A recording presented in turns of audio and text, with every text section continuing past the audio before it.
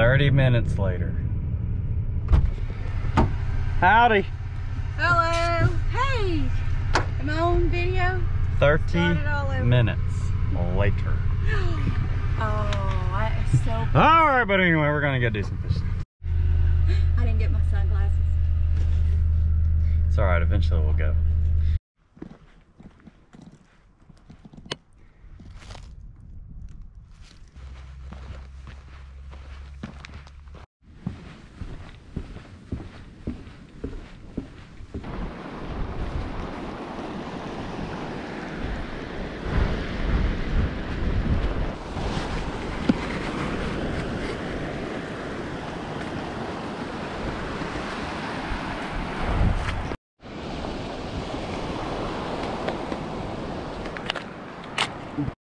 All right, I found a sand flea, freaking monster while I was looking for ghost shrimp. That's a good one. Little mole crab. Great bait. So I'm just gonna run one hook rig this time, just a pre-tied. I tied it myself rig and hook the sand flea.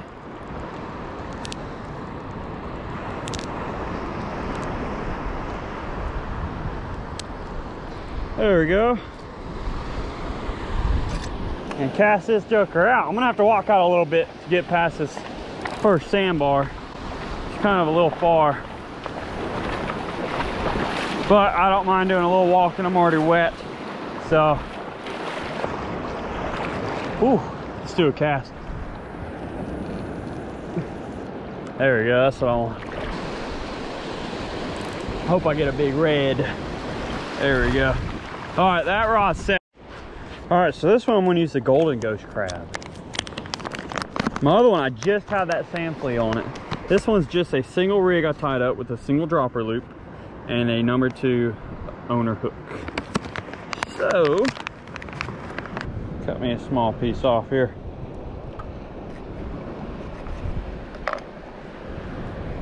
And I'm gonna tip this one with a little bit of shrimp and cast it out. And this one is the Spinfisher 2500. This is what I got for Christmas on a Penn Battalion 2 inshore rod. So, which I'm, I mean, it's just a seven foot rod. It's gonna be my whiting, whiting rod. And this is what I call that five pound trout on in the kayak. It's already been broken in, which is awesome. Can't ask for any better break in. But I'm gonna cast this sucker out. Uh, not as far. I'm gonna fish this right on top of the bar here. But you can see that first sandbar right there where the waves are breaking. I'm fishing in between it with this shorter rod. And then the other one I have past that first sandbar. You, if you have a couple rods to use, you want to stagger them. Cover some water and find out where these fish are. Whiting stay pretty shallow, so that's what this one's gonna be is a shallow, shallow setup. So that one's Got both these rods set. Uh, we'll see what we can do out here.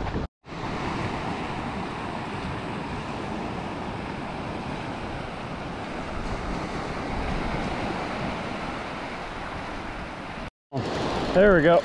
Hi, Mom. there we go. On the small rod. I don't know what it is, but it freaking ripped it out of my hand. Right where I thought there would be one too in that cut. Man, come on. What is it? Oh, that's a stud whiting. Yeah, we'll keep them. Anyway, Yeah, let's so do it. Keep him. Hey, uh, I got a bag here. For yeah, that's perfect. That's a stud whiting right there. But he ate the golden ghost crab right there, fish gum. So, hey, it works. I'm telling you, go pick you up some. Stuff's awesome. All right, that whiting is in the cooler. You can go back out. It's always fun when you catch them on kind of light tackle while the big rod's still out with that sand flea on it. But we're going to cast back out again and see what we can get.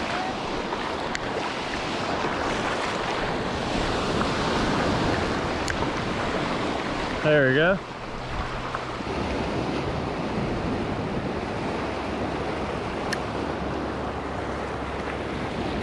Cool thing about these Penn Spinfisher 6s and pretty much all the Spin Fishers, they are IPX5 sealed, so they're pretty much waterproof reels. So they're, they hold up real well out in the surf, out kayaking, whatever else you may be doing. And they hold plenty of line. I got 15 pound Power Pro on here, so plenty of line for whatever you may want to do or fish for. What you got over there? Monster? Real mine, man. That was on the pink fish gum, wasn't it?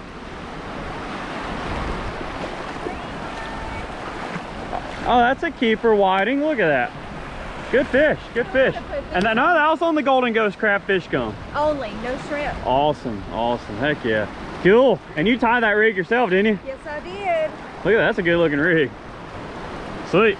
Cool. Go put them in the cooler. The fun thing about this type of fishing is you can literally, if you're not from here, bring like a bass rod or a catfish rod and do the same thing. Except if it's not like, you know, if it's a freshwater rod, you definitely want to take care of it. Don't dunk it in the water. Try not to get it splashed. Don't get sand on it. And give it a good rinse and oil when you're done. Stuff like this you can take care of and it'll last you years in the salt. As long as you wash it off after you're done and then just give a few drops of oil every now and then on it. It'll last you years. But I'm gonna cast back out. See if we can get another one. Looks like one. There you go, that's a solid one. Yeah, that's a good one. Cool. On what, the fish gum? Fish gum. Awesome. Look here, Hank. Yeah, you better go on now. Sneaky little thing. Well, we are out here today. It is beautiful here in Alabama. Look at this beautiful January day. We're doing pretty good so far. Uh, it's not a crazy, insane, super fast bite or anything, but the fish gum is paying off. Uh, we're catching some whiting, enough for dinner. It's what we're trying to get after. Uh, but we've caught a few already, and then I also have a big whiting head out there trying to get a big redfish or whatever's gonna hit it. So, well, let's just keep fishing. There we go. Got one. There we go. Ah, it's a good one. They're fun on light tackle. Man. What is it, whiting? There we go. Come on. A little whiting, I think. Yeah, it's a good whiting. Okay. Here we go. Oh yeah, that's a good one right there. It's a, it's a nice whiting. It's a nice whiting on the fish gum. Look at that. Awesome. We're gonna throw him in the cooler. Now, you see where I'm throwing. I'm not throwing in that real calm water. Throwing in this kind of rough, turbulent water because if you can see I'm standing on a small bar, there's a deep pocket there that I, you know, that's a really good area to hold fish. Uh, we already fished there, didn't catch nothing. So now I'm trying the other side of it. And it's just a, it's just a deep pocket. These, these fish are sitting there just trying to find food that's getting stirred up by the waves. So, and we're taking advantage of that.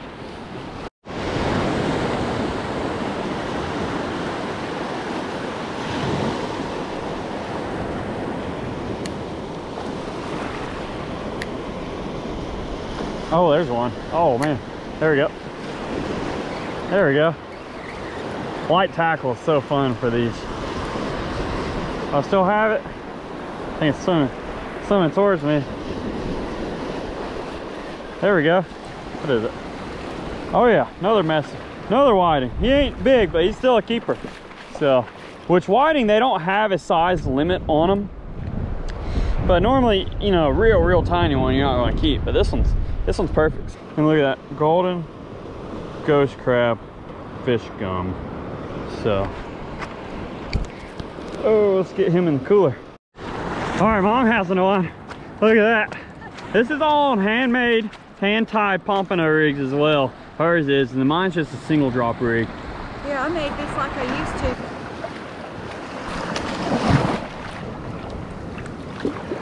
There he goes. Got you a bigger one. Good job. All right, so I found they're pretty much right in between us and that first sandbar, on the edge of that first sandbar. So They're all hanging out there. See if we can get another one. Go. Got, oh, we got a good one. Oh, you gotta love white. You gotta love light tackle fishing. Ah, there we go. Dang, this one's pulling good.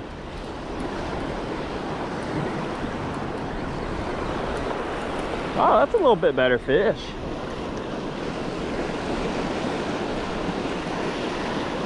Oh yeah, that's a good whiting. That's a keeper there. It's a keeper! Look at that, he really liked that fish gum too. I'm telling you, I'm telling you, I'm like, I don't get free fish gum. I don't get paid by anybody to say this. But this stuff here is working awesome. So that's a good winding too. So he's gonna go in the cooler. All right, I just wanna show you what I'm using. So this is just a homemade rig. I have a swivel 15 pound mono. I did a dropper loop, which they're all over the internet, how to tie a dropper loop to a owner number two hook. This is their inshore hook.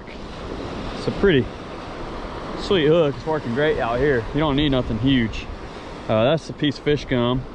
Come down to a small clip and then a one and a half ounce pyramid weight. So really, really simple rig. And then I'm throwing it on the Penn, Battalion 2 inshore rod. Uh, this one's a seven foot extra fast, eight to 15 pound mono one. And then it's Penn Spinfisher 6 2500 with 15 pound Power Pro. And this is a great, great combo for light tackle, surf fishing, and inshore fishing. So I just want to do a tackle breakdown. We're going to get back to fishing. This is one of those little speckled crabs. That's Yeah. cool. Look how look how pretty color they are. Pretty colors they are. Speckled crab. That's cool. All right, turn them back. there we go. Go, swim away, get bigger.